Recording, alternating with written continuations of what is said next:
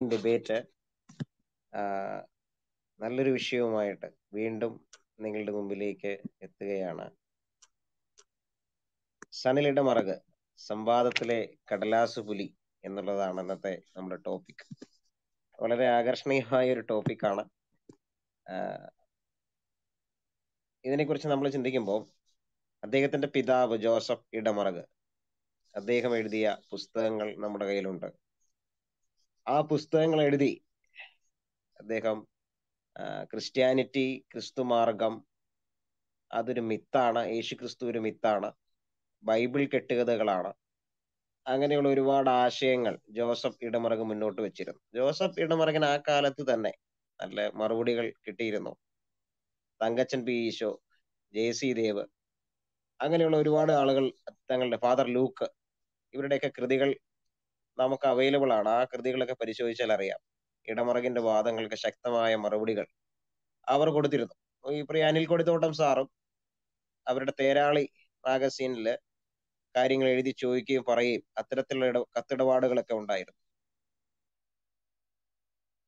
കാലങ്ങൾ മുന്നോട്ട് പോയി. ജോസഫ് ഇടമറകിന്റെ പുസ്തകം അദ്ദേഹം പറയുന്ന ചരിത്രപരമായ കാര്യങ്ങൾ തെറ്റാണെന്നും അത് ചരിത്ര കൃത്യമായ ഹിസ്റ്റോറിക്കൽ ഡേറ്റ വെച്ച് നമുക്ക് അത് തെറ്റാണെന്ന് തെളിയിക്കാമെന്നും ഐ ബി ടി ക്രിസ്ത്യൻ ഡിബേറ്റിലെ കഴിഞ്ഞുപോയ ചർച്ചകൾ കൊണ്ട് നമ്മളിവിടെ തെളിയിച്ച കാര്യമാണ്. പലരും ചർച്ചയ്ക്കായിട്ട് വന്നു. അവരുടെ അഭിപ്രായങ്ങൾ പറഞ്ഞു. കൃത്യമായ ഹിസ്റ്റോറിക്കൽ ഡേറ്റ വെച്ചുകൊണ്ട് സയന്റിഫിക് ആയിട്ട് ഡേറ്റകൾ വെച്ചുകൊണ്ട് നമ്മൾ വാദങ്ങൾ മുന്നോട്ട് വെച്ചു. ജോസഫ് ഇടമുറകിന്റെ വാദങ്ങൾ ഖണ്ഡിച്ചു. അദ്ദേഹത്തിന്റെ പുത്രൻ സനൽ ഇടമുറക് അദ്ദേഹം പല ഗ്രൂപ്പുകളിൽ ഇപ്പോൾ പല വിഷയങ്ങൾ ആസ്പദമാക്കി ചർച്ചകൾ ചെയ്യുന്നുണ്ട്.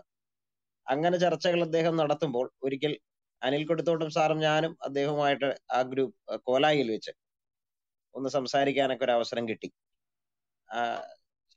ബൈബിളിന്റെ ക്രിസ്തീയ വിശ്വാസത്തെ സംബന്ധിച്ച് അദ്ദേഹം ചരിത്രപരമായ ചില തെറ്റുകൾ പറഞ്ഞ് ഞങ്ങൾ അത് ചൂണ്ടിക്കാട്ടി. വളരെ അസഹിഷ്ണുതയോടെയാണ് അദ്ദേഹം അന്നേരം പ്രതികരിച്ചത്. എന്നോട് ഇന്ന് ഒരു അഗ്നോസ്റ്റിക് ആയിട്ടുള്ള ഒരു സഹോദരൻ പറഞ്ഞു സത്യത്തിൽ സി രവിചന്ദ്രൻ സാറാണ് സനലിടമറകിനേക്കാളും ഭേദം. കാരണം കാരണം രവിചന്ദ്രൻ സാറ് ഉത്തരമില്ലെങ്കിൽ എന്ത് ചെയ്യും? തന്റെ ഒരു ചിരി കൊണ്ട് അതിനെ മറികടക്കാൻ ശ്രമിക്കും. സനൽ സാർ പെട്ടെന്ന് ഇമോഷണൽ ആവുന്നു. അപ്പൊ ഇത് സനൽ ഇടമറകിന്റെയൊക്കെ പരിപാടികൾ കൂടുതലായും വീക്ഷിക്കുന്ന ആളുകൾ അത്തരത്തിലൊരു നിഗമനത്തിലേക്ക് പലരും പലരും പറയുന്നുണ്ടത് എത്തിച്ചേർന്നു. കോലായിലുള്ള കോലായിൽ അത്ര ആ ചർച്ചകളിൽ പങ്കെടുത്ത പലരും അദ്ദേഹത്തിന്റെ ഇമോഷണൽ ആയിട്ടുള്ള വികാരപരമായിട്ടുള്ള നിലപാടുകൾ അവർക്കും മനസ്സിലായി. അപ്പൊ ഇവരുടെയൊക്കെ ഒരു രീതി ഞാൻ മനസ്സിലാക്കുന്ന അല്ലെങ്കിൽ ഞങ്ങൾ മനസ്സിലാക്കുന്ന സനലിടമറകിനെ പോലെയുള്ള ഒരു രീതി എന്താന്ന് പറഞ്ഞാൽ അവർ പറഞ്ഞുകൊണ്ടിരിക്കും നമ്മൾ കേൾക്കണം. അവർ പറഞ്ഞുകൊണ്ടിരിക്കും നമ്മൾ കേൾക്കണം. അങ്ങോട്ട് ചോദ്യങ്ങൾ ചോദിച്ചാൽ നമ്മളിപ്പോ അങ്ങോട്ട് ചോദ്യങ്ങൾ ചോദിക്കുകയാണെങ്കിൽ അവർ വളരെ അസഹിഷ്ണുക്കളാണ്. അങ്ങോട്ടൊന്നും ചോദിക്കാൻ പാടില്ല. അങ്ങനെ ചോദിച്ചാൽ മിഷണറി കഥകൾ ഇവിടെ വിളമ്പി ഇവിടെ മിഷണറി പ്രവർത്തനത്തിന് ശ്രമിച്ചു. അതൊക്കെ കഴിഞ്ഞുപോയി സാറേ നമുക്ക് പറയാനുള്ള കാര്യം. അതൊക്കെ കഴിഞ്ഞുപോയി ഇതിപ്പോ സനലിടമറകിനോടാണെങ്കിലും അത്തരത്തിലുള്ള ഏത് തരത്തിലുള്ള യുക്തിവാദികളോടാണെങ്കിലും കൃത്യമായ ഡേറ്റ വെച്ച് സംവദിക്കാൻ കഴിവുള്ളവർ ഇവിടെ ഉണ്ട് അത് നിങ്ങൾ മനസ്സിലാക്കണം. പിന്നെ അദ്ദേഹത്തിന്റെ അവസാന വാക്ക് അദ്ദേഹം എഴുതി തയ്യാറാക്കി ഇറക്കാൻ പോകുന്ന പുസ്തകവും ജോസഫ് ഇടമറങ്ങ് കേരളത്തിൽ പ്രസിദ്ധീകരിച്ച പുസ്തകമാണ് അതിനപ്പുറമുള്ള പുസ്തകങ്ങൾ ഇവിടെ നമ്മൾ പരിശോധിക്കുന്നു. പശ്ചാത്യരായ നിരീശ്വരവാദികളുടെ അഗ്നോസ്റ്റിക്കുകളുടെ പുസ്തകങ്ങൾ പരിശോധിക്കുന്നു. അങ്ങനെ പരിശോധിച്ച് അതിന് അതിന്റെ ബേസിൽ ക്രിസ്ത്യാനിറ്റിക്ക് അതിനുള്ള ഉത്തരം കണ്ടെത്തുന്നവരാണ് ഞങ്ങൾ ഞങ്ങളിൽ പലരും. അത്തരത്തിലുള്ള ആളുകൾ പശ്ചാത്യ ലോകത്തുണ്ട്. ഇവിടെ ഉണ്ട് ഇവിടെയുള്ള നിരീശ്വരവാദികൾക്ക് ആ രീതിയിൽ ഉത്തരം കണ്ടെത്തുന്നു. ഇവിടെ ഈ രവിചന്ദ്രൻ സാറിനെ ഒന്ന് ശരിക്കും പറഞ്ഞ സയൻസ് അദ്ദേഹം പഠിച്ചിട്ടുള്ള ഒരു വിഷയമല്ല പഠിക്കാത്തൊരു വിഷയമാണ് അദ്ദേഹം സംസാരിച്ചുകൊണ്ടിരിക്കുന്നത്. അങ്ങനെ പലരും അക്കാദമിക് ആയിട്ട് വലിയ ബ്രില്യന്റ് ആണെന്ന് പറയുന്ന പലരും അത്തരം വിഷയങ്ങളിൽ സയൻസിന്റെ പല വിഷയങ്ങളിലും പഠിക്കാത്ത ആളുകളാണ്. എന്നാൽ ഇവിടെ ഇപ്പോൾ സയൻസിനെ കുറിച്ചും ചരിത്രത്തെ കുറിച്ചൊക്കെ സംസാരിക്കുന്ന പലരും അത് കൃത്യമായി അക്കാദമിക രംഗത്തും പഠിച്ചിട്ടുള്ളവരാണ്. അല്ലാതെയും പഠിച്ചിട്ടുള്ളവരാണ്. ആർജിതമായ അറിവുകൾ ശേഖരിച്ചിട്ടുള്ളവരുമാണ്. എന്ത് തന്നെയാണെങ്കിലും സനലിടമുറങ്ങിനെ പോലുള്ള കടലാസ് പുലികൾക്ക് സംവാദത്തിന് വരാൻ മടിയുള്ളവർക്ക് പേടിയാണെന്ന് തന്നെയാണ് ഞങ്ങൾ വിശ്വസിക്കുന്നത്. ഒരു പാനൽ ഡിബേറ്റിനോ അല്ലാതെ ഒറ്റയ്ക്കൊറ്റയ്ക്കുള്ള സംവാദങ്ങൾക്കോ ഞങ്ങൾ ആര് വേണമെങ്കിലും ഒരുമിച്ചും തയ്യാറാണ്. ഇതൊരു വെല്ലുവിളിയല്ല. അദ്ദേഹത്തെ സ്നേഹത്തോടെ എന്ത് ചെയ്യുവാണ്? സ്വാഗതം ചെയ്യുകയാണ്. അദ്ദേഹം ഇങ്ങനെ പരിപാടികൾ നടത്തിക്കൊണ്ടിരിക്കാതെ എന്ത് ചെയ്യുക? ഞങ്ങളൊക്കെ ആയിട്ട് സംവാദങ്ങൾക്ക് തയ്യാറാകുക. I B T Christian debate ഗ്രൂപ്പായിട്ട് സംവാദത്തിന് അദ്ദേഹം തയ്യാറാകട്ടെ എത്രയോ പരിപാടികൾ ഇപ്പൊ അദ്ദേഹം നടത്തി. അല്ലെങ്കിൽ മറ്റുള്ള ആരെങ്കിലുമായിട്ടൊരു സംവാദത്തിന് അദ്ദേഹം തയ്യാറാകട്ടെ. അദ്ദേഹം പറയുന്ന കാര്യങ്ങൾക്ക് ഇത് അങ്ങോട്ട് ചോദ്യം ചോദിക്കും ഒരു ഉത്തരം പറയും. അതുകൊണ്ട് തൃപ്തമാകണം തൃപ്തിയാകണം എന്നുള്ള ഒരു ആശയം വിട്ട് ഒരു സംവാദത്തിന് അദ്ദേഹം മുതിരട്ടെ എന്നുള്ളതാണ് ഞങ്ങൾക്ക് അദ്ദേഹത്തോട് പറയാനുള്ള പ്രധാനപ്പെട്ട ഒരു കാര്യം.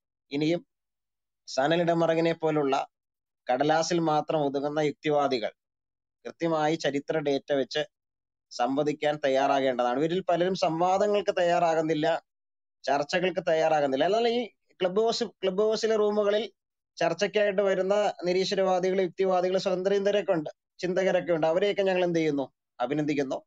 എന്നാൽ വലിയ പേരുള്ള വലിയ ഹൈ പ്രൊഫൈൽ ആയിട്ടുള്ള ആളുകൾ സനലിടമറകിനെ പോലെയുള്ള വലിയ സംവാദകർ എന്ന് പേര് കേട്ട ആളുകൾ അത്തരം സംവാദങ്ങൾക്ക് തയ്യാറാകണം. ഒറ്റയ്ക്ക് കാര്യങ്ങൾ പറഞ്ഞു പോയി ചോദ്യങ്ങൾ കേട്ട് ഉത്തരം പറഞ്ഞു പോകുന്നതിൽ വലിയ കാര്യമില്ലെന്ന് എന്ത് ചെയ്യണം? മനസ്സിലാക്കണം. സംവാദങ്ങൾക്ക് ഞങ്ങൾ എപ്പോഴും തയ്യാറാണ്. എല്ലാ കാലത്തും തയ്യാറാണ്. ജോസഫ് ഇടമർക്ക് പുസ്തകം എഴുതിയ കാലത്തും അത് കൃത്യമായി പഠിച്ചുകൊണ്ട് തന്നെയാണ് മറുപടികൾ ഉണ്ടായിട്ടുള്ളത്. അപ്പൊ ഇന്ന് I B T Christian debate ഇങ്ങനെ ഒരു വിഷയം മുന്നോട്ട് വെക്കുമ്പോൾ ഇത്തരം ചില കാര്യങ്ങൾ തുറന്നു കാട്ടുവാനാണ്. അത് നിങ്ങൾ കേട്ടിരിക്കുക. ഇവിടെ വന്ന് ചോദ്യം ചോദിക്കാനുള്ള അവസരമുണ്ട്. നിങ്ങൾക്ക് പറയാനുള്ള അവസരമുണ്ട്. വളരെ സഹി വളരെ സഹിഷ്ണുതയോടെ. ഒരിക്കലും വികാരഭരിതരാകാതെയായിരിക്കും ഞങ്ങൾ അതിൽ ഉത്തരം നൽകുക. എല്ലാവർക്കും അഭിപ്രായ സ്വാതന്ത്ര്യമുണ്ട്. കൃത്യമായ വീക്ഷണങ്ങൾ നിങ്ങൾക്ക് ഇവിടെ പങ്കുവയ്ക്കാം. ഞാൻ സഹോദരൻ പ്രിൻസിനെ കുറച്ച് കാര്യങ്ങൾ പറയുവാനായിട്ട് ശ്രമിക്കുന്നു ക്ഷണിക്കുന്നു. അതിനുശേഷം അനിൽ കൊടുത്തോണ്ട് സാറ് പേപ്പർ പ്രസന്റ് ചെയ്യും. Okay thank you Sijo brother ഞാൻ എന്താ പറയുക ഞാൻ ഈ പ്രോഗ്രാം സെറ്റ് ചെയ്ത് ആക്ച്വലി ഞാൻ അറിഞ്ഞില്ല. ഞാൻ ഇന്നാണ് അറിയുന്നത്. എന്തായാലും ഇന്നലെ നടന്ന സംഭവവുമായിട്ട് ബന്ധപ്പെടുത്തി നോക്കുമ്പോൾ ഇന്നത്തെ ഈ ഒരു ടോപ്പിക്ക് വളരെ റിലവന്റ് ആയി അതായത് പറങ്ങിനെ സംബന്ധിച്ച് പ്രത്യേകിച്ച് അദ്ദേഹം എന്തോ വലിയൊരു ആളാണെന്ന് നാട്ടുകാരെല്ലാം വിചാരിക്കണമെന്നുള്ളൊരു ചിന്തയുള്ള ഒരു മനുഷ്യൻ താഴെ ഒരു ടോം ജോസ് എന്ന് പറഞ്ഞ പുള്ളിക്കാരൻ ഇരിപ്പുണ്ട് ഇന്നലെ സിജോ ബ്രദർ പറഞ്ഞ അദ്ദേഹത്തിന്റെ അസഹിഷ്ണുതയുമായി ബന്ധപ്പെട്ടാണ് ഞാൻ പറയുന്നത്. ഈ ടോം ജോസ് എന്ന് പറയുന്ന വ്യക്തി വിശ്വാസിയൊന്നുമല്ല. അദ്ദേഹം യുക്തിവാദി എന്ന് തന്നെയാണ് അദ്ദേഹം പറയുന്നത്. പക്ഷെ ഇന്നലെ അദ്ദേഹം ഈ മറക് വന്നൊരു റൂമിനകത്ത് അദ്ദേഹം കടന്നു വന്നിട്ട് അദ്ദേഹം അദ്ദേഹത്തിനെതിരെ അതായത് സനൽ ഇടമറക് താങ്കളെ ഞാൻ ബഹുമാനിക്കുന്നു. താങ്കളുടെ യൂട്യൂബ് വീഡിയോസ് എല്ലാം ഞാൻ കാണാറുണ്ട്. പക്ഷെ ആ ക്ലബ് ഹൗസിൽ താങ്കളുടെ ചർച്ചകൾ കേൾക്കാൻ എനിക്ക് ഇഷ്ടമല്ല എന്ന് അദ്ദേഹം പറഞ്ഞു. എന്താണെന്ന് ചോദിച്ചാൽ പറയുകയാണ്? താങ്കൾ അസഹിഷ്ണുതാപരമായിട്ടാണ് ക്ലബ് ഹൗസിൽ ഇടപെടുന്നത്. പല പൊട്ടത്തരങ്ങളും താങ്കൾ പറഞ്ഞു. താങ്കൾ അദ്ദേഹം അപ്പൊ തന്നെ അദ്ദേഹത്തെ താഴെ ഇട്ടു. അദ്ദേഹം പോയതിനു ശേഷം അദ്ദേഹത്തിന്റെ ആ സനലിന്റെ ദൈവമായിട്ട് കണക്കാക്കുന്ന അദ്ദേഹത്തിന്റെ ശിഷ്യഗണങ്ങൾ ഇദ്ദേഹം പോയതിനു ശേഷം എടുത്തു. എടുത്തതിന് കാരണം ഇദ്ദേഹം ഒരു നിരീശ്വരവാദിയും അതോടൊപ്പം തന്നെ യുക്തിവാദിയും ആയതുകൊണ്ടാണ് അതിലുള്ള ബാക്കി യുക്തിവാദികൾ ഇയാൾ എടുത്തത്. അതിലെ പല യുക്തിവാദികൾ ഇദ്ദേഹത്തിന്റെ പരിചയക്കാരാണെന്ന് തോന്നുന്നു. എനിവേ രണ്ടാമത് വന്നപ്പോൾ അദ്ദേഹത്തിന് കുറച്ച് കാര്യങ്ങൾ പറയാൻ സമയം കൊടുത്തു എന്നുള്ളതാണ്. അപ്പൊ അദ്ദേഹം പറഞ്ഞ ഇങ്ങനെയാണ്. പൊട്ടത്തരങ്ങൾ പറഞ്ഞത് അന്ന് ചോദ്യം ചെയ്തപ്പോൾ ഇദ്ദേഹത്തെ വളരെ അസഹിഷ്ണുതപരമായി ഇടപെട്ടു. അതുകൊണ്ട് ഇയാൾ വീഡിയോ പറയുമ്പോൾ കുഴപ്പമില്ല കേൾക്കാൻ എനിക്ക് ഇഷ്ടമാണ്. പക്ഷേ ഗ്രൂപ്പിനകത്ത് വരുമ്പോൾ ഇയാൾ എന്താ പറയുക സംസാരിക്കുന്നതിന്റെ ഇടയിൽ പല പൊട്ടത്തരങ്ങളും പറയാറുണ്ട്. അതുകൊണ്ട് എനിക്കത് കേൾക്കാൻ ബുദ്ധിമുട്ടാണ്. അതുകൊണ്ട് ഇയാളുടെ ചർച്ചകൾ ഞാൻ ക്ലബ് ഹൗസിൽ കേൾക്കാറില്ല. യൂട്യൂബിൽ ഞാൻ കണ്ടോളാം. കാണുന്നത് എനിക്ക് ഇഷ്ടമാണെന്ന് പറഞ്ഞു. അപ്പൊ ഞാൻ മനസ്സിലാക്കുന്നത് അയാൾ പൊട്ടത്തരം പറഞ്ഞിട്ടും വീണ്ടും വീണ്ടും യൂട്യൂബിലും കയറി അതെന്താണെന്ന് പഠിക്കാതെ അയാളുടെ പൊട്ടത്തരങ്ങൾ കേൾക്കാൻ അദ്ദേഹത്തെ ദൈവമായി കണക്കാക്കുന്ന ഒരുപാട് പേരുണ്ട് എന്നുള്ള യാഥാർത്ഥ്യമാണ്. അതിന് തെളിവായിട്ടായിരുന്നു ഇന്നലെ ഒരു റൂം നടന്നത്. അതായത് കഴിഞ്ഞ ഒരു നാല് ദിവസം മുമ്പ് ഒരു സംഭവം ഉണ്ടായിട്ടുണ്ട്. ക്ലബ് ഹൗസിന്റെ അപ്ഡേഷൻ ഒക്കെ ശ്രദ്ധിച്ച് എല്ലാവർക്കും അറിയാം. ഫേക്കായിട്ട് അതായത് ഇല്ലാത്ത ഫോളോവേഴ്സിനെ നമുക്ക് സോഫ്റ്റ്വെയർ വഴി ഉണ്ടാക്കാൻ കഴിയും. ക്ലബ് ഹൗസിനകത്ത് തുടക്കത്തിൽ നിങ്ങൾ ഇതിന്റെ ഹാൾവേയിൽ തുടക്ക സമയത്തൊക്കെ പോയി നോക്കിയവർക്ക് എല്ലാവർക്കും അറിയാം. ഈ ഫോളോവേഴ്സിനെ ഉണ്ടാക്കി കൊടുക്കുന്നതിന് ഒരു റൂം ഇട്ടിട്ടുണ്ടായിരുന്നു. നാനൂറ്റി അൻപത് രൂപ കൊടുത്താൽ ആയിരം ഫോളോവേഴ്സിനെ കിട്ടും. ഒരു പത്ത് മിനിറ്റിനകത്തുള്ള മെനക്കേടേ ഉള്ളൂ. സോഫ്റ്റ്വെയർ വഴിയാണ് ആയിരം രൂപയ്ക്ക് സോറി ആയിരം ഫോളോവേഴ്സിന് നാനൂറ്റി അൻപത് രൂപയേ ഉള്ളൂ. ഈ സനലിടമറകിനെ ഒരു പെട്ടെന്നൊരു സുപ്രഭാതത്തിലായിരുന്നു ഈ ക്ലബ് ഹൗസിന് ആ സനലിടമറക് പ്രത്യക്ഷപ്പെടുന്നത്. ഞാൻ ഈ ഒരു ഞാൻ മെയ് മുപ്പത്തൊന്ന് മുതൽ സജീവമായി ക്ലബ് ഹൗസിൽ എല്ലാ ക്ലബ്ബുകളിലും പങ്കെടുക്കുന്ന ഒരു ചെറുപ്പക്കാരനാണ്. അപ്പൊ ഞാൻ ഇദ്ദേഹത്തെ പ്രത്യക്ഷപ്പെട്ടപ്പോൾ നോക്കിയ മുപ്പത്തി മൂവായിരത്തോളം ഫോളോവേഴ്സ് ഇദ്ദേഹത്തിന് ഉണ്ടായിരുന്നു. ഞാൻ അത്ഭുതപ്പെട്ടു പോയി. ഇദ്ദേഹം ഒരു പ്രോഗ്രാമിന് ഇയാൾ കണ്ടിട്ടില്ല. ഇയാൾ ഇവിടെ ആരും കണ്ടിട്ടില്ല. പെട്ടെന്ന് ഒരു സുപ്രഭാതത്തിൽ വന്നപ്പോൾ ഇയാൾക്ക് ഇത്രയും ഫോളോവേഴ്സ് എങ്ങനെ കിട്ടി? ഇയാൾ അങ്ങനെ അറിയപ്പെടുന്ന ഒരാളല്ല. ഇയാളെ സെർച്ച് ചെയ്ത് പിടിച്ച് ക്ലബ് ഹൗസിൽ വരുന്ന ഓരോരുത്തരും സംഘടന പറയുന്ന ടൈപ്പ് ചെയ്ത് പിടിച്ച് ഫോളോവേഴ്സിനെ ഉണ്ടാക്കാൻ വേണ്ടി അങ്ങനെ ഒരു അറിയപ്പെടുന്ന ഒരാളല്ല എന്നുള്ളത് നമുക്ക് എല്ലാവർക്കും അറിയാം. അത് പിന്നെ എങ്ങനെ ഇദ്ദേഹത്തിന് കിട്ടി? ഞാൻ അന്നേ സംശയിച്ചു. ഇതെന്താ മറിമായം? ഇയാൾ വരുന്ന റൂമുകൾക്കകത്ത് ആക്ച്വലി നാനൂറ് അഞ്ഞൂറ് പേരൊക്കെ വരാറുള്ളൂ. ഈ മുപ്പത്തി മൂവായിരത്തി ചില്ലറ ഫോളോവേഴ്സ് ഉള്ള ആളുടെ റൂമിൽ എങ്ങനെ പോലും അയ്യായിരം പേരെങ്കിലും മിനിമം വരണ്ടേ? അത് വരുന്നത് കാണാൻ. അപ്പൊ ഞാൻ അന്നേ ഡൗട്ട് ചെയ്തു. ഇതെന്തോ തിരിമറിയുണ്ട്. എന്നാൽ പ്രിയ സുഹൃത്തുക്കളെ ഒരു നാല് ദിവസം മുമ്പ് ഞാൻ ഇയാളുടെ ഫോളോവേഴ്സ് നോക്കുമ്പോൾ ഏഴായിരത്തിന് താഴെ ഇതുപോലെ തന്നെ രണ്ട് രണ്ട് മൂന്ന് മുസ്ലിം സഹോദരങ്ങൾ എനിക്ക് അറിയാവുന്ന ഒരു പന്ത്രണ്ടായിരം ഫോളോവേഴ്സ് ഉള്ളവർക്ക് ആറായിരത്തി ചില്ലറയായി. അയ്യായിരം ഫോളോവേഴ്സ് ഉള്ള ഒരു മുസ്ലിം സഹോദരന് രണ്ടായിരത്തി ഒരുന്നൂറ് ഫോളോവറായി ഇങ്ങനെ പലരുടെയും ഫോളോവേഴ്സ് പോയി. അതിന്റെ കാരണം സോഫ്റ്റ്വെയർ വഴി നമ്മുടെ തൊട്ട് താഴെ റെജി ബ്രദർ വന്നിരിപ്പുണ്ട്. പുള്ളിയാണ് ഇത് ചെയ്യുന്ന ആൾ. പുള്ളി ഇത് ഇതാണ് പുള്ളിയുടെ തൊഴിലേ ഇതാണ്. ക്ലബ് ഹൗസിൽ ഫോളോവേഴ്സ് കൂട്ടുക ഫേസ്ബുക്കിൽ കൂട്ടുക. ഇതാണ് അദ്ദേഹത്തിന്റെ സോഫ്റ്റ്വെയർ വഴിയാണ് പുള്ളി ചെയ്യുന്നത്.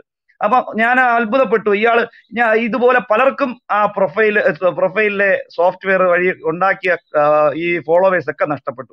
ഞാൻ അത്ഭുതപ്പെട്ടു എന്തിനാ ഈ ഈ ചെറുപ്പക്കാരൻ ഈ പറഞ്ഞതുപോലെ ഇത്രയും തട്ടിപ്പ് കാണിച്ചു ഇതിന്റെ ആവശ്യം എന്താ? സനലയുടെ മറക് എന്തിനു വേണ്ടിയാ കാണിച്ചു? ആൾക്കാരെ പറ്റിക്കാൻ വേണ്ടിയായിരുന്നു. എന്തിനാ ഇത്? ഇതിന്റെ ആവശ്യം എന്തുവാ? നമുക്ക് ഇയാൾ ഇത്രയും ഫോളോവേഴ്സ് ഉണ്ടെന്ന് കാണിച്ചിട്ട് എന്ത് ചെയ്യാൻ വേണ്ടിയിട്ടാ? അപ്പൊ നമ്മൾ മനസ്സിലാക്കേണ്ടത് ഇയാളുടെ ഈ പറഞ്ഞ പോലെ ഈ നമ്മ ക്രിസ്ത്യാനിറ്റിയെ വിമർശിക്കുന്നത് മാത്രമല്ല ഇയാളുടെ ജീവിതമേ മുഴുവൻ ഇയാൾ ഈ പറഞ്ഞതുപോലെ തട്ടിപ്പും വെട്ടിപ്പുമാണെന്നുള്ള യാഥാർത്ഥ്യമാണ്. ഞങ്ങളത് കൂടുതൽ അതിന്റെ പേഴ്സണലി കടക്കുന്നില്ല. എങ്കിലും സനലിയുടെ മറകെന്ന് നിങ്ങൾ ജസ്റ്റ് ഒന്ന് ഗൂഗിൾ ചെയ്ത് നോക്കുക. ആദ്യം കാണുന്ന ഗൂഗിളിൽ നമുക്കറിയാം ആളുണ്ട്. ഗൂഗിൾ സെർച്ച് ചെയ്യുന്ന എല്ലാവർക്കും അറിയാം. അത് കഴിഞ്ഞ് ഇമേജ് ഉണ്ട് വീഡിയോസ് ഉണ്ട് ന്യൂസ് എന്നും കാണാറുണ്ട്. ആ ന്യൂസിൽ ജസ്റ്റ് ഒന്ന് ക്ലിക്ക് ചെയ്യുക. ഒന്ന് കൊടുക്കുക. നിങ്ങൾ താഴെ ഇരിക്കുന്ന ഒരിടത്ത് ഞാൻ പറയുന്നില്ല. നിങ്ങൾ തന്നെ അദ്ദേഹം എന്താണെന്നൊന്ന് മനസ്സിലാക്കിക്കൊള്ളുക. പിന്നെ അതിനോടൊപ്പം ചേർത്ത് ഞാൻ പറയാം. അപ്പൊ ഇത് തുറന്നു കാണിക്കുന്നതിന് വേണ്ടി ഞാൻ ഇന്നലെ ഒരു ക്ലബ്ബ് ഇട്ടിരുന്നു. താഴെ ദീപു എന്ന് പറഞ്ഞ പുള്ളിക്കാരുണ്ട് ആ പുള്ളിയുടെ പ്രൊഫൈൽ നോക്കി അറിയാം. അദ്ദേഹത്തിന്റെ പഴയ ഫോളോവേഴ്സിന്റെ ലിസ്റ്റും പുതിയ ഫോളോവേഴ്സിന്റെ ലിസ്റ്റും അപ്പൊ ഞാൻ ഇതിനെ തുറന്നു കാണിക്കുന്നതിന് വേണ്ടി സനലിയുടെ പറകിന്റെ കാക്കത്തൊള്ളായിരം ഫോളോവേഴ്സ് കാക്ക കൊത്തിപ്പോയോ എന്നുള്ളൊരു ക്ലബ്ബ് ഇട്ടിരുന്നു. വളരെ വൈകാരികമായിട്ടാണ് ഒരുപാട് നവനാസ്തികർ അതിനകത്ത് വന്ന് പ്രതികരിച്ചത്. അവർ എന്നെ തെറി വിളിച്ചില്ലെന്നേ ഉള്ളൂ. അടിക്കാ കൈ കിട്ടി അടിക്കുന്ന രീതിയിലൊക്കെ അവർ ചർച്ച അങ്ങനെ സംസാര രീതികൾ മുന്നോട്ട് പോയി. എന്നല്ല അതല്ല അതൊന്നും അല്ല കോമഡി. കുറച്ച് കഴിഞ്ഞതിന് ശേഷം ഇതിന് പാരലായിട്ട് റൂം പ്രത്യക്ഷപ്പെട്ടു. പ്രിയ സ്നേഹിതരെ വിദ്യാഭ്യാസമുള്ള സോഫ്റ്റ്വെയർ ഫീൽഡിൽ വർക്ക് ചെയ്ത ചെറുപ്പക്കാർ വന്ന് ഇയാളെ വെള്ള പൂശുന്ന കണ്ടു. ആ ചില ദിവസങ്ങളിൽ എന്റെ ഫോളോവേഴ്സ് കുറയാറുണ്ട്. പിറ്റേ ദിവസം കൂടാറുണ്ട്. അത് ഇതിന്റെ ബഗ്ഗാണ് പിന്നെ ഞാൻ ഫോളോ ചെയ്തിരിക്കുന്നതും കാണാതെ പോകാറുണ്ട് എന്നൊക്കെ പറഞ്ഞ് ഞാൻ അത്ഭുതപ്പെട്ടു. ഇത്രയും വിദ്യാഭ്യാസമുള്ള ചെറുപ്പക്കാർ അപ്പോഴാണ് ഞാൻ മനസ്സിലാക്കിയത്. നമ്മുടെ കേരളത്തിൽ മാത്രമല്ല ലോകത്ത് മുഴുവൻ എടുത്തു നോക്കിയാൽ ആൾ ദൈവങ്ങൾ എന്ത് തരം വൃത്തികേട് കാണിച്ചാൽ എന്ത് മ്ലേച്ഛത കാണിച്ചാൽ ആൾ ദൈവങ്ങളെ അവരെ എന്താ പറയുക സപ്പോർട്ട് ചെയ്യാനും അവർ കാണിക്കുന്ന എല്ലാ തെറ്റുകളെയും പൊതിഞ്ഞു സൂക്ഷിക്കാനും അവർക്ക് അനുചരന്മാരുണ്ടെന്നുള്ളത് യാഥാർത്ഥ്യമാണ് നമുക്ക് എല്ലാവർക്കും അറിയാം. അവർക്ക് വേണ്ടി ജീവൻ വരെ കൊടുക്കാനുള്ള ആൾക്കാരുണ്ട്. അത് തന്നെയാണ് അക്ഷരാർത്ഥത്തിൽ ഇന്നലെ ക്ലബ് ഹൗസിൽ നടന്നത്. ആ ആ ആ ഒരു ചർച്ചയുമായി ബന്ധപ്പെട്ട് ഇന്നത്തെ ടോപ്പിക്ക് വളരെ റിലവന്റ് ആണ്. കടലാസ് പുലികളെ സംരക്ഷിക്കാൻ അല്ലെങ്കിൽ അങ്ങനെയുള്ള ആൾ ദൈവങ്ങളെ സംരക്ഷിക്കാൻ ഇന്ന് നവനാസ്തികരായിട്ടുള്ള ഒത്തിരി പേരുണ്ട്. അവർ ഒന്നും പഠിക്കുന്നില്ല കാര്യങ്ങൾ ഗ്രഹിക്കാതെ. ഇപ്പോ സലിയുടെ മറകിന്റെ പുസ്തകം കൃഷ്ണനും ക്രിസ്തുവും ജീവിച്ചിരുന്നില്ല എന്നുള്ള അദ്ദേഹത്തിന്റെ പിതാവിന്റെ പുസ്തകമൊക്കെ എന്താ പറഞ്ഞ വളരെയധികം ഇവിടെ തള്ളിക്കളഞ്ഞതാണ്. അത് ഒന്നുമല്ലാതെ അഡ്രസ് ഇല്ലാതെ പോയ പുസ്തകമാണ്. പക്ഷേ ഇന്നും പല നിരീശ്വരവാദികളുടെ റൂമിനകത്തും യേശുക്രിസ്തുവിന്റെ ചരിത്രത്തെ പറ്റി പറയുമ്പോൾ വായിച്ച് കേൾപ്പിക്കുന്ന പുസ്തകം കൃഷ്ണനും ക്രിസ്തുവും ജീവിച്ചിരുന്നിട്ടുള്ള പുസ്തകം വായിച്ചിട്ടാണ് കേൾപ്പിക്കുന്നത്. അപ്പം ഒരു അക്കാഡമിക് ലെവലിൽ പഠിക്കാതെ ഒരു കാര്യം അണ്ടർസ്റ്റാൻഡ് ചെയ്യാതെ ഒരുപാട് നവനാസ്തികരായ ചെറുപ്പക്കാർ നശിച്ചു പോകുന്നു. ഒരുപക്ഷെ ഇന്നത്തെ ചർച്ചകൾ പര്യവസാനിക്കുമ്പോൾ ഒരുപക്ഷെ ഒരു ഒരുപാട് കാര്യങ്ങൾ ഇവർക്ക് മനസ്സിലാക്കാൻ സാധിക്കും. അതോടൊപ്പം തന്നെ ഇന്ന് എട്ട് മണിക്ക് നമ്മുടെ ഗ്രേസ് സെൽസിൽ ശാസ്ത്രം നിരീശ്വരവാദികളുടെ കുത്തകയോ അതോ ബൈബിൾ സംഭാവനയോ എന്നുള്ള ഒരു പ്രോഗ്രാം കൂടെ കഴിയുമ്പോൾ ഏകദേശം കുറെ കാര്യങ്ങൾ നിരീശ്വരവാദികൾക്ക് ഗ്രഹിക്കാൻ കഴിയുമെന്ന് ഞാൻ പ്രതീക്ഷിക്കുന്നു. Okay sir.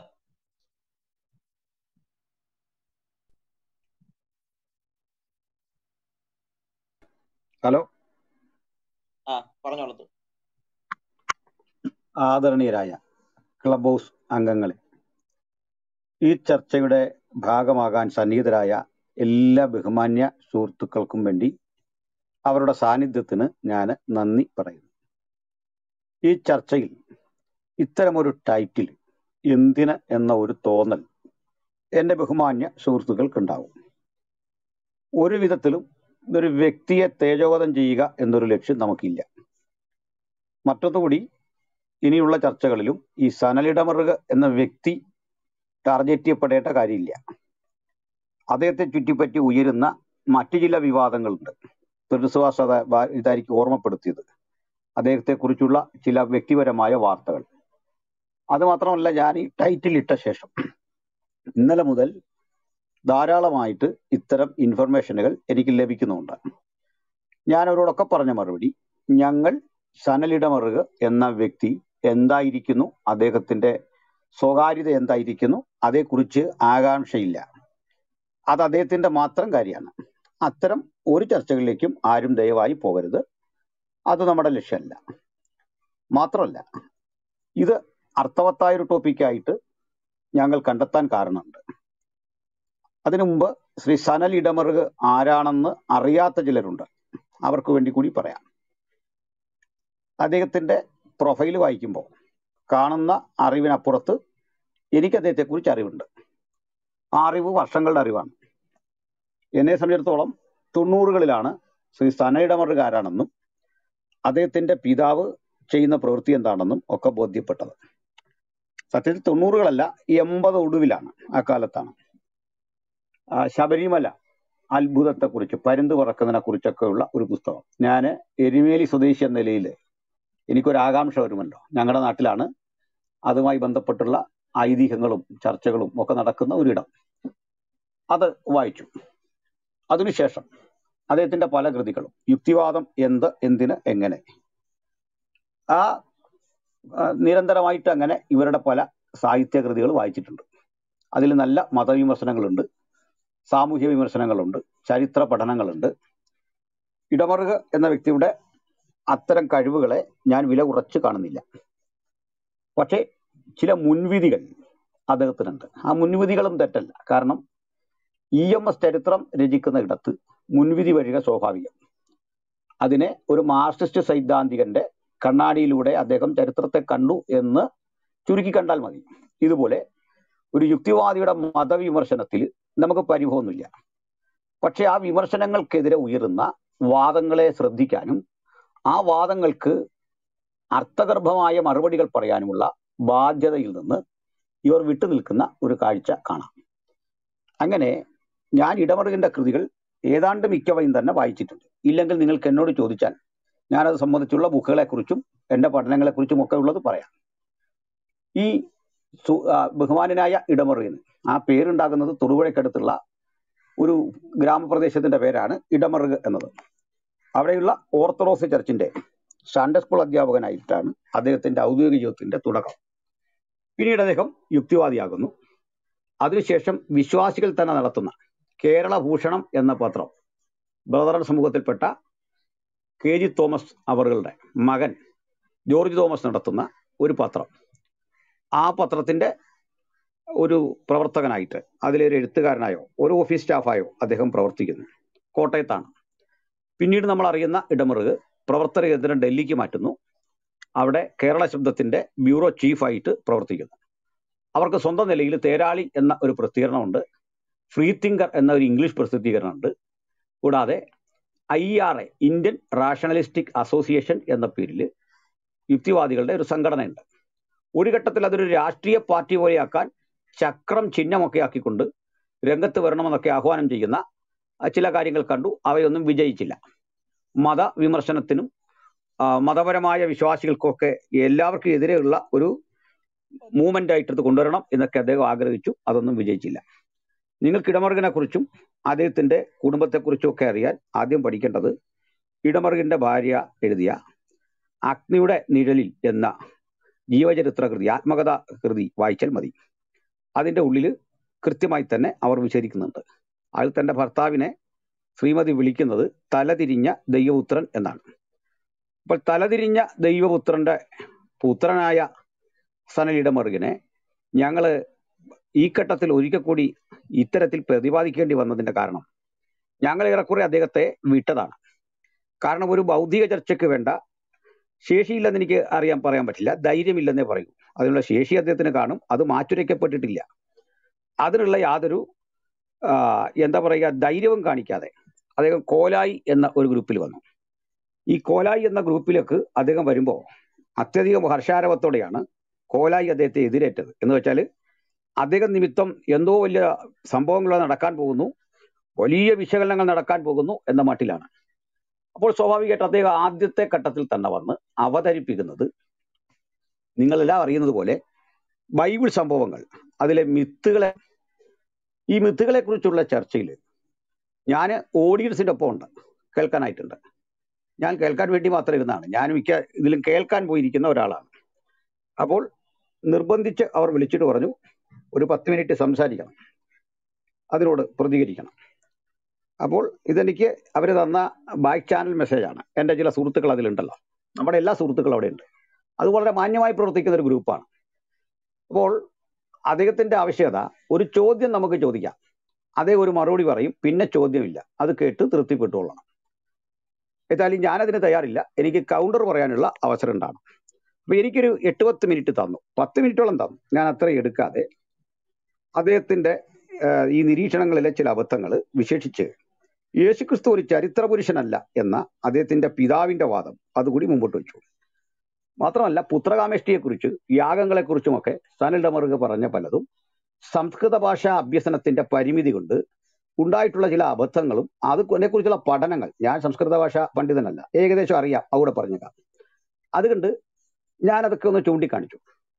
ഞാൻ വിചാരിച്ചത് അങ്ങനെ ഒരു കാര്യം ചൂണ്ടിക്കാണിക്കുമ്പോൾ ഒന്നുകിൽ അത് പരിശോധിക്കാം അല്ലെങ്കിൽ അതിനൊരു മറുപടി പറയുക. അങ്ങനല്ല അതിങ്ങനാണ് മറിച്ച് അദ്ദേഹം പറഞ്ഞത് മിഷനറി പ്രോപ്പകാണ്ടയ്ക്ക് വേണ്ടിയിട്ട് ഞാൻ ഒരു മതപ്രസംഗം നടത്തുന്നു അതിന്റെ ഉള്ളിൽ വളരെ ഇമോഷണലായി സംസാരിച്ചപ്പോൾ ഞാൻ ചോദിച്ചു അങ്ങ് എന്തിനാണ് ഇമോഷണൽ ആകുന്നത് അങ്ങ് വളരെ സൗമ്യമായി കാര്യം പറഞ്ഞാൽ പോരെ. അദ്ദേഹം പറഞ്ഞു സോറി അങ്ങനെ തോന്നുന്നെങ്കിൽ അത് സോറി എന്നിട്ട് ഒന്നുകൂടി പറഞ്ഞു താമസം മീന ഇതേക്കുറിച്ചല്ല. പെൻഗിൻ ബുക്സ് ഒരു പുസ്തകം പ്രസിദ്ധീകരിക്കുന്നുണ്ട്. ആ പുസ്തകത്തിൽ ഇതിനെല്ലാം മറുപടിയുണ്ട്. അതിന് പ്രമുഖരായ ആളുകൾ അവതാരം എഴുതുന്നുണ്ട്. അതിന്റെ പ്രകാശനം ഈ ക്ലബ് ഹൗസിലൂടെ നമ്മൾ അറിയിക്കുന്നതാണ്. അങ്ങനെ കുറേ കഥകളൊക്കെ പറഞ്ഞു. അപ്പോൾ എന്തെങ്കിലും പറഞ്ഞാൽ ആ പുസ്തകം നമ്മൾ വായിച്ചാൽ മതി എന്നാണ് പറയുന്നത്. അപ്പോൾ ഇതിനുശേഷം അദ്ദേഹം ചർച്ചയ്ക്ക് തയ്യാറാണ്. നമുക്കൊരു ചർച്ചയാകാം. ആ ചർച്ച ഞാനല്ല മുമ്പോട്ട് വെക്കുന്നുള്ളൂ അവിടെ പറയാം. അത് ഈ കോലായിലെ ചില സുഹൃത്തുക്കൾ പറഞ്ഞു നിങ്ങൾ തമ്മിൽ ഒരു ചർച്ചയാകാം. ചർച്ചയ്ക്ക് സംബന്ധിച്ച ആൾ എന്തൊക്കെയോ കാരണങ്ങളാൽ വഴുതി മാറി ആ കാരണങ്ങൾ എന്നത് ഇട സന സനയിടമുറകിന് ചില പൂർവകാല ഓർമ്മകൾ ഞങ്ങളൊക്കെ നടത്തിയ ചർച്ചകളെ ഉണ്ട് എന്നുള്ളതാണ്. അതിലേക്ക് അദ്ദേഹം പോയത് പിന്നീടാവും. മറവി അദ്ദേഹത്തെ ബാധിച്ചു കാണണം അത് മുമ്പേ സിജോ കൂടെ ഓർമ്മപ്പെടുത്തി. അതിന് കൃതികൾക്ക് ചുറ്റും മറുപടി കേൾക്കാമോ? ഇപ്പൊ കേൾക്കാം. ഇപ്പൊ കേൾക്കാമോ? ആ. അദ്ദേഹത്തിന്റെ വാദങ്ങൾക്ക് ഇടമറിന്റെ വാദങ്ങൾക്ക് ചുറ്റ മറുപടി കൊടുത്തുകൊണ്ട് ഞങ്ങൾ ആ കാലഘട്ടത്തിൽ എഴുതിയ മറുപടിയുണ്ട്. ആ മറുപടികൾ അന്നത്തെ പ്രമുഖരായ പല പത്രാധിപരുടെയും അറ്റസ്റ്റേഷനോട് കൂടിയാണ് അയച്ചത്. അതിന്റെ കോപ്പികൾ ഇപ്പോഴും എന്റെ ഫയലിലുണ്ട്. അതിനൊന്നും മറുപടി പറയാതെ മുങ്ങയും ഞങ്ങൾ പൂർണമായിട്ട് അദ്ദേഹം നാട്ടിൽ വന്ന് സംഭാവന നടത്താൻ വേണ്ട സകല ചിലവുകളും കൊടുക്കാം. ഇദ്ദേഹത്തിന്റെ പിതാവിനെ വെല്ലുവിളിച്ച സംഭവങ്ങൾ കിടപ്പുണ്ട്. അവയൊക്കെ അദ്ദേഹത്തിന്റെ ഓർമ്മയിലെ കോടി വന്ന് കാണണം. സർവോപരിയായിട്ട് ഇത് കേൾക്കുന്നവരോ റെക്കോർഡ് ചെയ്യുന്നവരായ സുഹൃത്തുക്കൾക്ക് സ്വാഗതം. അദ്ദേഹത്തിന്റെ പിതാവ് അദ്ദേഹത്തിന്റെ കൃതി ഇംഗ്ലീഷ് വൽക്കരിച്ചിട്ട് പ്രസിദ്ധമായ മിനിസോട്ട ഇൻസ്റ്റിറ്റ്യൂട്ട് ഓഫ് ഫിലോസഫിയിൽ ഒരു ഡോക്ടറേറ്റിന് സമർപ്പിക്കുകയും മിനിസോട്ട ഇൻസ്റ്റിറ്റ്യൂട്ട് ഓഫ് ഫിലോസഫി അത് ചവറ്റുകുട്ടയിലേക്ക് വലിച്ചെറിയുകയും അതിന് വേണ്ടി നടത്തിയ അന്വേഷണങ്ങൾക്കൊടുവിൽ താങ്കൾ അത്തരം ഒരു ഡോക്ടറേറ്റിന് അർഹനല്ല എന്ന് പറഞ്ഞ് നിരാകരിക്കുകയും ഒക്കെ ചെയ്ത ഘട്ടത്തിൽ മാധ്യമങ്ങൾ പുറപ്പെടുവിച്ച വാർത്തയിൽ ഇടമറുകിന് മെഗലോമാനിയ മെഗലോമാനിയ എന്താ നിങ്ങൾ അടിച്ചു നോക്കിയാൽ മതി ഉന്മാദ രോഗം. അത് അങ്ങനെ പ്രസിദ്ധം ചെയ്ത ചില കാര്യങ്ങളും ഒക്കെ എന്റെ പക്കലുണ്ട്. ഈ പൂർവകാല സ്മൃതിയിലേക്ക് ബഹുമാനനായ നമ്മുടെ സാനിഡമറ് പോയി കാണും. ഈ ഓർമ്മകളെല്ലാം അദ്ദേഹത്തെ അലട്ടിക്കാണും. സാമൂഹ്യ മാധ്യമ രംഗത്ത് ഇതൊക്കെ പ്രസിദ്ധം ചെയ്യുന്നതോടുകൂടി അദ്ദേഹം ഉണ്ടാക്കിയെടുത്ത ഈ ആൾദൈവ ഖ്യാതി പോകും എന്നുള്ള ഒരു ഭീതിയാകണം അദ്ദേഹം പതുക്കെ പിന്നോട്ട് വലിഞ്ഞു പിന്നോട്ട് വലിഞ്ഞതിന് രണ്ടാം ഘട്ടത്തെ ചർച്ചയിൽ പറഞ്ഞ ന്യായം ബഹുരസമാണ് രണ്ടാം ഘട്ടത്തിലെ ചർച്ചയിൽ ഞാൻ വന്നു. എനിക്ക് അവിടെ അവസരം കിട്ടി. അവസരം കിട്ടുമ്പോൾ അത് അവസരം കിട്ടുമ്പോൾ ഒരു കാര്യമുണ്ട്. എന്റെ ഉൾപ്പെടെയുള്ള ഫോട്ടോകൾ ഇട്ടുകൊണ്ടുള്ള പോസ്റ്റർ ഇറക്കിയിട്ടാണ് ഞാനിവിടെ ചെല്ലുന്നത്. എനിക്ക് സ്പീക്കേഴ്സ് പാനലിൽ ഇടം കിട്ടി. അപ്പോൾ സനിഡമറിന്റെ ആവശ്യകത ഒരു കാരണവശാലും അദ്ദേഹത്തിനല്ലാതെ ആർക്കും സമയം കൊടുക്കാൻ പാടില്ല. ഒരു ചോദ്യം എനിക്ക് ചോദിക്കാം. അപ്പൊ അതൊരു ന്യായമല്ലല്ലോ. കാരണം എന്റെ കൂടി പോസ്റ്റ് ഇട്ട് വന്ന അവരുടെ പബ്ലിസിറ്റി നടത്തിയാണ് ഈ കാര്യങ്ങളിൽ അതുകൊണ്ട് ഞാൻ കേട്ടിരിക്കാൻ തയ്യാറില്ല. അതിന്റെ കാരണം ഞാൻ ഇദ്ദേഹം പറയുന്ന കാര്യമെല്ലാം കേട്ടിരുന്നു എന്ന് യുക്തന്മാർക്ക് പറഞ്ഞുകൊണ്ട് നടക്കണം. ഒരു മറുപടിയും പറയാനില്ലായിരുന്നു എന്ന് പറയണം. അത് സാധ്യമല്ല. അപ്പൊ എനിക്ക് കോലായിലെ സുഹൃത്തുക്കൾ പറഞ്ഞു ആമുഖമായി താങ്കൾ അ- ചെയ്ത പോലെ മുൻപ് പത്ത് മിനിറ്റ് എടുത്തോളൂ. ഈ പത്ത് മിനിറ്റ് എടുത്തോളൂ എന്ന് പറഞ്ഞിട്ട് ഞാൻ സംസാരിക്കുമ്പോഴൊക്കെ പുള്ളി ഇടയ്ക്ക് കയറുകയാണ്. അത് എന്തൊരു ഇത്രയും പ്രായമുള്ളൊരു മനുഷ്യൻ. ആരോ ഇവിടെ യുവാവെന്ന് വെളിപ്പെടുത്തി. പുള്ളിക്ക് അറുപത്താറ് വയസ്സുണ്ട് കേട്ടോ. അറുപത്തി ആറ് വയസ്സുണ്ട്. അത് നമ്മുടെ എന്താ ഈ നമ്മുടെ എന്താ നമ്മുടെ ഒരു കവിതയുണ്ടല്ലോ. അതിനകത്ത് പറയല്ലോ യൗവനം വന്ന് ഉദിച്ചിട്ടും ചെറുതായില്ല ചെറുപ്പം എന്ന് പറയുന്ന പോലെ അദ്ദേഹത്തിന്റെ എന്നും യൗവനം നിലനിൽക്കട്ടെ എന്നാണ് എന്റെ പ്രാർത്ഥന. അതിലൊന്നും കുഴപ്പമില്ല. പക്ഷെ അറുപത്താറ് വയസ്സ് ആളിന് പ്രായമുണ്ട്. അപ്പോൾ അദ്ദേഹം ആ പ്രായത്തിന്റെ പക്വത പോലും കാണിക്കാതെ എനിക്ക് കിട്ടിയ സമയത്തിനിടയ്ക്ക് മൂന്ന് റൗണ്ട് ഇടിച്ചു കയറുകയാണ്. ഞാൻ മടുത്തപ്പോൾ പറഞ്ഞു എനിക്ക് ബഹളം വെക്കുന്നതിൽ താല്പര്യമില്ല. മാത്രമല്ല എനിക്ക് കൗണ്ടർ ചെയ്യാൻ സമയമില്ലാത്തതുണ്ട് ഞാൻ ഓഡിയൻസിന്റെ കൂടെ ഇരുന്നോളാം. അപ്പോൾ ഞാൻ ഓഡിയൻസിന്റെ കൂടെ ഇരിക്കാൻ പോയപ്പോൾ പറയാണ് ഇതാണ് മതവിശ്വാസികളുടെ കുഴപ്പം. അവർക്ക് സഹിഷ്ണുതയില്ല. ഇപ്പൊ പോയ ആളിനെ കണ്ടില്ലേ? സഹിഷ്ണുതയില്ല. ആർക്കാ സുഹൃത്തെ സഹിഷ്ണുതയില്ലാത്തത്? ഇദ്ദേഹം എത്ര നേരവും പറഞ്ഞോളട്ടെ കേട്ടിരിക്കുമല്ലോ. ഇവിടെ നമ്മുടെ ഒരു സംസ്കാരം തന്നെ ഒരാൾ പറയുന്നത് കേൾക്കാൻ ഇഷ്ടമില്ലെങ്കിൽ അവരവർക്ക് പോകാമല്ലോ എന്നാലും ഞാൻ പോയില്ല ഞാൻ താഴെ കേട്ടോണ്ടിരിപ്പുണ്ട്. പറയുന്നത് എന്താണ്? ഇതാണ് മതവിശ്വാസികളുടെ പ്രത്യേകത. അവർക്ക് സഹിഷ്ണുതയില്ല. എനിക്ക് തന്ന സമയത്തിൽ ഇടിച്ചു കയറിയിട്ടാണ് പറയുന്നത്. അതിലും വലിയ രസം ഞങ്ങൾ അതേക്കുറിച്ച് അടുത്ത ദിവസം ഒരു ചർച്ച വെച്ചു. ഇദ്ദേഹത്തിന്റെ അനുഗാമികളോട് ഇവിടെ വന്നിട്ട് പറഞ്ഞു അനിൽ കാണിച്ച ശരിയല്ല. എന്താ കാണിച്ച ശരിയല്ലാത്ത? അവിടെ കിടന്ന് ബഹളം വെച്ചു. ഞാൻ ചോദിച്ചു സാറേ എനിക്ക് കിട്ടിയ സമയത്തിനുള്ളിൽ മറ്റൊരാൾ കയറി വന്ന് സംസാരിക്കുമ്പോൾ ഞാൻ എങ്ങനെ ബഹളം വെച്ച ആളാകുന്നത് അപ്പോഴാണ് ഈ മനുഷ്യൻ അറിയുന്നത് എനിക്ക് കിട്ടിയ സമയത്തിലാണ് ഇദ്ദേഹം ചാടി കയറിയെന്ന് അന്നേരമാണ് അദ്ദേഹം അറിയുന്നത്. ഈ ആരാധന കൊണ്ട് അന്ധത ബാധിച്ച ആളുകളാണ്. അവർക്ക് അങ്ങനെ പറയാൻ പറയാൻ പറ്റുള്ളൂ. എന്നിട്ട് ആ മാന്യം പറഞ്ഞു അങ്ങനെ യുക്തിവാദികൾ ആരും സംവാദം കണ്ടാൽ ഓടുന്നവരല്ല പേടിയില്ല. എനിക്ക് ഇവരെ പണ്ടേ അറിയാം പണ്ടേ അറിയാം. കാരണം ഒരു കാര്യത്തിൽ ഇതൊക്കെ വലിയ സംഭവമുള്ള കാര്യമല്ല. യേശു ക്രിസ്തു ചരിത്രവീക്ഷണം തെളിയിക്കാൻ ഒരു പ്രയാസമുള്ള കാര്യമല്ലെന്ന് ആർക്കും അറിയാം. പക്ഷെങ്കിൽ ആവേശപുരസ്സരം ഇത്തരം കാര്യങ്ങൾ എഴുതുമ്പോൾ അതിന്റെ പിന്നിൽ പതിയിരിക്കുന്ന അപകടം ഈ സുഹൃത്തുക്കൾ മനസ്സിലാക്കിയില്ല. അതിലും മറ്റൊരു കാര്യം കൂടെ ചേർത്ത് പറയാനുണ്ട്. ഇദ്ദേഹത്തിന്റെ ആ പുസ്തകത്തിന്റെ അബദ്ധം ആദ്യം ചൂണ്ടിക്കാണിച്ചത് ഞങ്ങളല്ല. അത് ശ്രീ ബി പ്രേമാനന്ദാണ് ആരാണ് ബി പ്രേമാനന്ദ്? മുൻകാലഘട്ടത്തിൽ ഇടമറകിന്റെയൊക്കെ സഹപ്രവർത്തകനായിരുന്ന അതുപോലെ തന്നെ ഏറ്റവും പ്രസിദ്ധമായ Indian federation of federation of Indian rationalistic association FIRA അതിന്റെ അഖിലേന്ത്യാ കൺവീനറാണ്. ശാസ്ത്ര സാങ്കേതിക വാർത്താവിനിമയ ദേശീയ കൗൺസിൽ ഫെലോഷിപ്പ് നൽകി ആദരിച്ചിട്ടുള്ള ബി പ്രേമാനന്ദൻ. അദ്ദേഹമാണ് ഇടമറുകിനെതിരെ രംഗത്ത് വന്ന ആ കൃതിക്ക്. അതായത് സ്വന്തം തട്ടകത്തിൽ നിന്നാണ് വിമർശനം ഉയർന്നത് അതിന്റെ രേഖകൾ അന്ന് നടന്ന ചർച്ചകൾ എല്ലാം ഞാൻ ശേഖരിച്ചു വെച്ചിട്ടുണ്ട്. അവയൊക്കെ എന്റെ ലൈബ്രറിയിൽ ഭദ്രമാണ്. ആവശ്യമായ ഘട്ടത്തിൽ അത് കൊണ്ടുവരും. ചുരുക്കി പറഞ്ഞാൽ ഞങ്ങൾ ഈ ചെയ്യുന്നത് ഒരു ഐഡിയോളജിക്കൽ ബ്ലാക്ക് മെയിലിംഗ് ആണ്. ആ പദം ഉപയോഗിക്കാൻ തെറ്റാണോ എന്ന് എനിക്കറിയില്ല. ഒരു ഐഡിയോളജിക്കൽ ബ്ലാക്ക് മെയിലിംഗ് തലതിരിഞ്ഞ ദൈവപുത്രന്റെ മകന് അദ്ദേഹത്തിന് അമ്മയിട്ട പേരാണ് അപ്പനിട്ട പേരാണ് തലതിരിഞ്ഞ ദൈവപുത്രൻ. തലതിരിഞ്ഞ ദൈവപുത്രന്റെ മകൻ ശ്രീ ശ്രീ സാനലിയുടെ മകന് ചങ്കുറപ്പുണ്ടെങ്കിൽ അദ്ദേഹം ധൈര്യശാലിയെങ്കിൽ അദ്ദേഹം പലപ്പോഴും വെല്ലുവിളിക്കുന്ന ആളല്ലേ? അദ്ദേഹത്തിന്റെ പിതാവ് നടത്തിയ വെല്ലുവിളി എന്താണെന്നറിയണ്ടേ? അന്ന് ക്രൈസ്തവ മതമേലധ്യക്ഷന്മാർക്ക് ആർക്കെങ്കിലും യേശുക്രിസ്തു ചരിത്ര വീക്ഷണം തെളിയിക്കാൻ ധൈര്യം ഉണ്ടെങ്കിൽ മുമ്പോട്ട് വരണം. അന്ന് ഞങ്ങളുടെ പത്രങ്ങൾ മറുപടി എഴുതിയത് ആ വെല്ലുവിളി സ്വീകരിക്കുന്നു. അതിലൊരു പുസ്തകത്തിലെ അധ്യായം തന്നെ ആ വെല്ലുവിളി സ്വീകരിക്കുന്നു ഉപാധികളില്ലാതെ. നിങ്ങൾക്ക് ഇവിടെ വരാൻ വേണ്ട ഫ്ലൈറ്റ് ടിക്കറ്റ് ഞങ്ങൾ തരാം. നമുക്ക് വളരെ വിദഗ്ധമായ ഒരു സമിതിക്ക് മുമ്പിൽ കോളേജ് പ്രൊഫസർ സേഴ്സിന്റെയോ ഗവേഷണ തൽപരരായ ആളുകളുടെയോ വേണ്ട സാക്ഷാൽ എം ജി എസ് നാരായണന്റെയോ അങ്ങനെയുള്ള ചരിത്ര ഗവേഷകർക്ക് മുമ്പിൽ യേശു ക്രിസ്തു ചരിത്ര പുരുഷനോ അല്ലയോ എന്നുള്ള വസ്തുത ചർച്ചക്കെടുക്കാം. ഒടുക്കം വന്നില്ല. എങ്ങനെ വരാൻ? വന്നില്ലെന്ന് മാത്രമല്ല ഈ ചർച്ചയിൽ ഇടപെട്ടവരൊക്കെ അവരുടെ തേരാളികളോട് ആക്ഷേപിക്കായിരുന്നു പക്ഷെ വലിയ പ്രശ്നം. ഈ തേരാളി പോരാളി എന്നൊക്കെ പറഞ്ഞ ഇവരുടെ ചില ആളുകൾ മാത്രമേ അറിയുള്ളായിരുന്നു. പക്ഷെ നമ്മുടെ പത്രങ്ങൾ അങ്ങനെ ആയിരുന്നില്ല. അത് സമൂഹ മധ്യം ഒത്തിരി ഓടുന്ന സ്വീകാര്യതയുള്ള മാധ്യമങ്ങൾ തന്നെയായിരുന്നു. അപ്പോൾ ലാസ്റ്റ് ഘട്ടം ഞാനിത് പറയാൻ കാരണം. ഇദ്ദേഹം വളരെ ഇപ്പോൾ പ്രിൻസ് പറഞ്ഞ പോലെ വളരെ വികാരപരമായി പ്രതികരിക്കുന്നു. ഞങ്ങൾ മൂന്നാമത് ഈ ക്ലബ് ഹൗസിന് വേണ്ടി ഓപ്പൺ ചെയ്യുമായിരുന്നില്ല. അദ്ദേഹം പറയുന്നത് താൻ എന്തോ വലിയ സംഭവമാണ്. അതായത് മെഗലോമാനിയ അദ്ദേഹം എന്തോ വലിയ സംഭവമാണ്. അദ്ദേഹത്തിന്റെ പുസ്തകത്തിലൂടെ ദാ വരുന്നു ഇപ്പം ദാ വരുന്നു ഇപ്പം. ഇതൊക്കെ ഞങ്ങൾ കുറെ കേട്ടതാണ്. ഇദ്ദേഹത്തിൽ നിന്ന് മാത്രമല്ല ഇദ്ദേഹത്തിന് പരമ്പരാഗതമായി തന്നെ ഇവരുടെ ആളുകളുടെ ഒരു പ്രശ്നമാണ്. എന്തോ വലിയ സംഭവമാണ് ഇവർ. എന്നിട്ടത്തെ മിനിസോട്ട ഇൻസ്റ്റിറ്റ്യൂട്ട് ഓഫ് ഫിലോസഫിയിൽ നിന്ന് പ്രബന്ധം ചവിറ്റുകോട്ടയിൽ എറിഞ്ഞിട്ട് ഡോക്ടറേറ്റിന് പോയ ആൾ തിരി തല തിരിച്ചു പോകേണ്ട കാര്യം എന്താ ഇതൊക്കെ അദ്ദേഹത്തിന് അറിവുള്ള കാര്യങ്ങളാണ്. അതിന്റെ രേഖകൾ ഞങ്ങൾ മിനിസോട്ട ഇൻസ്റ്റിറ്റ്യൂട്ട് ഓഫ് ഫിലോസഫിയുമായി നടത്തിയ എഴുത്തുകുത്തുകളും എന്തുകൊണ്ട് ഇത് റിജക്ട് ചെയ്തു എന്നതൊക്കെ ഭംഗിയായിട്ട് ജെ സി ദേവിന്റെ പക്കൽ ഇപ്പുണ്ട് സമയം വരുമ്പോൾ അത് ഞങ്ങൾ എത്തിക്കുന്നതാണ്. ചുരുക്കി പറഞ്ഞാൽ ഇവർക്ക് യാതൊരുവിധ സ്റ്റഫും ഉള്ളടക്കങ്ങളും ഈ പറയപ്പെട്ട കാര്യങ്ങളിലില്ല. അറിയാത്ത വിഷയങ്ങളിലാണ് ഇവർ അഭിപ്രായം പറഞ്ഞിട്ട് സ്വയം ഇളിഭ്യരാകുന്നത്. അതുകൊണ്ട് ചോദ്യം ചെയ്യപ്പെടാത്ത ആചാര്യന്മാരായിട്ട് യുക്തിവാദം ഒരു ബദൽ മതം പോലെ നിൽക്കുകയാണ്. അപ്പോൾ ഇവരുടെ എല്ലാ ഒരു കാര്യം ഈ രവിചന്ദ്ര സി ആയാലും ഇദ്ദേഹം ആണെങ്കിലും ഇടമ അന്തരിച്ച ഇടമറുകാണെങ്കിലും ഇവരെല്ലാം ചെയ്യുന്ന കാര്യം ഇങ്ങനെയാണ്. ഇനിയും വലിയൊരു തമാശ കേൾക്കണ്ടേ? ഇവരൊക്കെ പറയുന്നത് ഞങ്ങൾ ഇടമറിനെ വിമർശിക്കുമ്പോൾ അദ്ദേഹം മരിച്ചുപോയി. പരേതനായ ആ മനുഷ്യനെതിരെ വിമർശനം ഉന്നയിക്കരുത്. യേശുക്രിസ്തു ഒക്കെ മരിച്ചുപോയ ആളാ ബുദ്ധനും ഒക്കെ മരിച്ചുപോയ ആളാണ് അതുകൂടെ മനസ്സിലാക്ക്. ഇദ്ദേഹത്തെക്കാൾ മുമ്പ് മരിച്ചുപോയവരല്ലേ? അവരെയൊക്കെ വിമർശിക്കാം. അതിനൊന്നും മടിയില്ല. മുൻകാലങ്ങളിൽ ഇത് വളരെ വിമർശിക്കാം. സർവർക്കറെ വിമർശിക്കാം. ആരാ സർവർക്കറെ വിമർശിക്കാത്ത? സർവർക്കറെ വിമർശിക്കുന്നുണ്ട് ആൾക്കാര്. ഇ എം എസിനെ വിമർശിക്കുന്നുണ്ട്. പക്ഷെ ഇദ്ദേഹത്തിന് മാത്രം വിമർശനം. ഇവർക്ക് പേടിയാണെ കാര്യം പറ. അല്ലെങ്കിൽ ഇത്തരം അബദ്ധങ്ങൾ പറയാനായിട്ട് രംഗത്ത് വരാൻ പാടില്ലായിരുന്നു. അതുകൊണ്ട് ഇവരെ ക്ലബ് ഹൗസിൽ കഴിഞ്ഞ ദിവസം ഒരാൾ ചർച്ചയ്ക്ക് വന്നിരുന്നു. ഇവരുടെ തന്നെ അനുഗാമിയാണ്. അദ്ദേഹം തന്നെയോ അല്ലെങ്കിൽ ഇദ്ദേഹത്തെയോ ചർച്ചയ്ക്ക് കൊണ്ടുവരാം എന്ന് പറഞ്ഞിരുന്നു. ഇവരാരും ചർച്ചയ്ക്ക് വരണമെന്ന് നമുക്ക് നിർബന്ധമൊന്നുമില്ല. യാതൊരു നിർബന്ധമില്ല കാരണം ഇവരുടെ കയ്യിലെ ഉള്ളടക്കങ്ങളുടെ ആകത്തുക നമുക്കറിയാം. കുറെ പുലഭ്യം പറയാനല്ലാതെ ചിരി ചിരികോട്ടി ഒന്ന് ചിരിക്കാനല്ലാതെ ഇവർക്കൊന്നും ഒന്നിനും കഴിയില്ല. അവർക്ക് രംഗത്ത് വരാൻ കഴിയില്ല. എന്നിട്ട് പറയാണ് വിശ്വാസികൾ ഇമോഷണൽ ആയിട്ട് പ്രതികരിക്കുന്നു.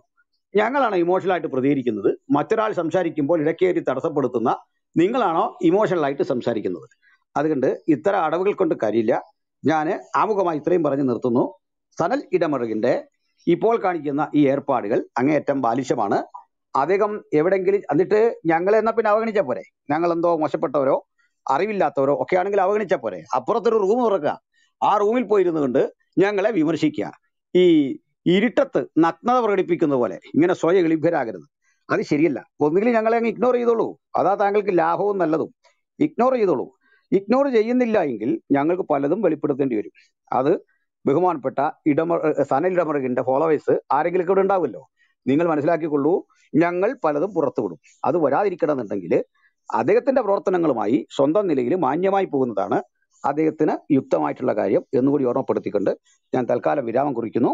ഇതിനോട് കൂട്ടിച്ചേർക്കാനോ ഇതിനെതിരെ അഭിപ്രായം പറയാനോ എല്ലാവർക്കും സ്വാതന്ത്ര്യമുണ്ട്. അത് വസ്തുതാപരമായിരിക്കണം മാത്രമല്ല ഇടക്കേറി സംസാരിക്കുന്ന ശൈലി ഉണ്ടെങ്കിൽ അത് എത്ര പ്രഗത്ഭനായിരുന്നാലും ആയിരുന്നാലും അവരെ നമ്മൾ ഓഡിയൻസിലേക്ക് മൂവ് ചെയ്യിക്കുന്നതാണ് എന്നുകൂടി ഓർമ്മപ്പെടുത്തിക്കൊണ്ട് വിനയാന്വിതനായിട്ട് ഞാൻ നിർത്തുന്നു.